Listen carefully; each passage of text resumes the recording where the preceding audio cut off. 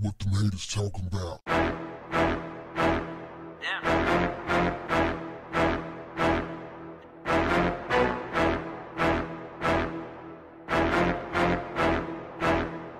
What's up, family? LaVar Ball said that NFL players should follow the league's new protocol for the national anthem, stand on the sideline, or remain in the locker room, or get out of their league. There's only one problem with that. The Bleacher Report, the report that I actually first got my report from, took his comments out of context and they also omitted some things. Yes, he did say those things, but the way they tried to make it seem was that he was some type of buck dancer, uh, company man. So I went back and I looked for the actual video of his comments and I found it on TMZ. Man, these people cold-blooded, man. I was wondering, why was it that all of these conservative sites were posting LaVar uh, Ball all of a sudden, his comments? Why were they like in support of LaVar Ball when I know they hate LaVar Ball guts? LaVar Ball has traditionally gone against the evil empire, so to speak he has gone against the status quo. He has been a champion for the little guy, you know, going against the machine, saying, I'm going to do it my way. Then all of a sudden, these conservative posts, these sites are posting about LaVar Ball and how they support what he's saying. Let me tell you something. If you're black, the conservative sites are not concerned with anything you have to say unless you're regurgitating their talking points, i.e., throwing black people under the bus. If you down for something like that, oh, they with you. That's how you know 100% for sure that a black person is a sellout. When conservative sites say that they like them. Notice how they never liked Kanye until recently. They were calling him all kind of names. I hate that guy. Oh, that guy's terrible. Won't he just shut up? Somebody needs to put a bullet in his head. They were saying all kind of things. The minute he threw black people under the bus, slavery was a choice. I like that guy. I'm starting to like that guy, just like they did with LaVar Ball. I, I like that guy. You know what? I've never liked that guy, but you know he's got a, he's got a point, and you know uh, I like where he's coming from.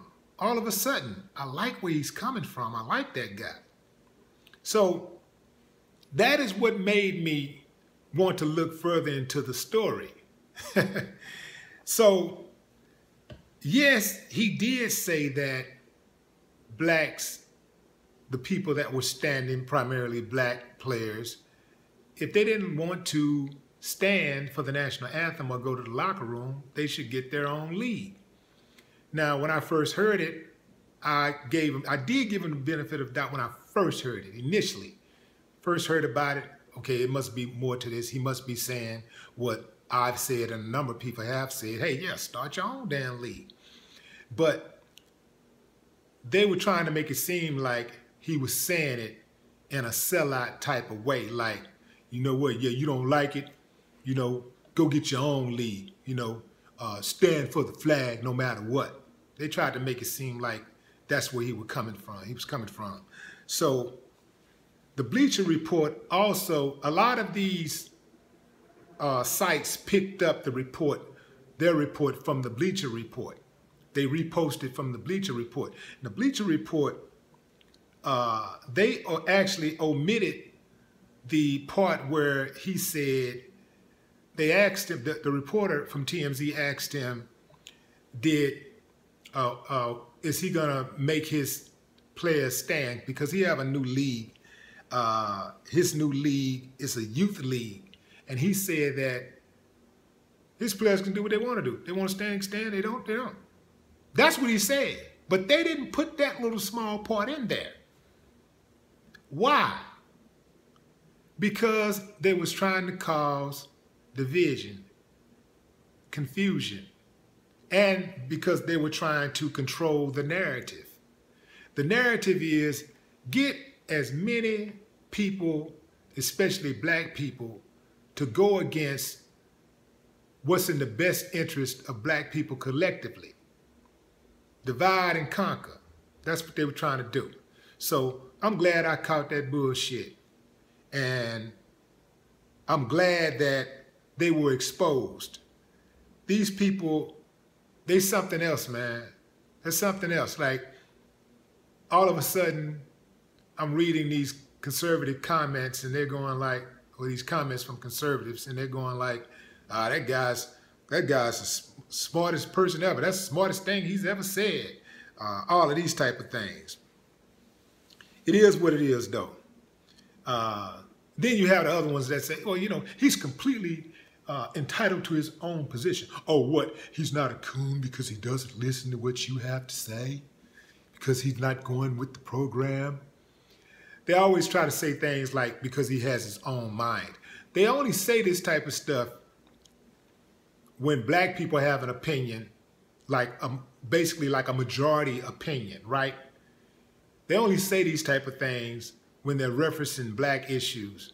When it's white people and anybody else, you never hear comments like, what, he has his own mind. When they go against each other, when you're reading them, reading these comments and they're going against each other, uh, even even if you're not reading something, even if people are just having a general conversation, you never hear people say stuff like, "Oh, what? Because he has his own mind, he's not on the Republican plantation. Uh, you know, you know, you don't like him, or you know, you're calling him names." This is always them trying to control what black people thinks and sticking their nose in the black folks' business. They always got something to say about what we're doing, about how we're trying to control how we feel, what we should think, what type of emotions that we should have, trying to pick our friends for us, trying to tell us who we should like and who we shouldn't like. But that's the whole truth that I just gave you. Whereas the Bleacher Report omitted, omitted part of the truth and took the man's words out of context. So for jumping the gun, I stand corrected. But I had to put that out there, man. There's something else, man. You gotta watch these damn. You gotta watch these folks, man. They real sneaky. They real slick, man. Anytime they can try to control the narrative and create division, they're gonna do it. And it's incumbent upon us and, and people, especially people out there that has a, a voice, a platform to speak on it, is to bat that bullshit down every time they try to come with it. And that is what I am committed to doing. You don't like it? Kick rocks. No more talk. What, the them haters talking about? Damn.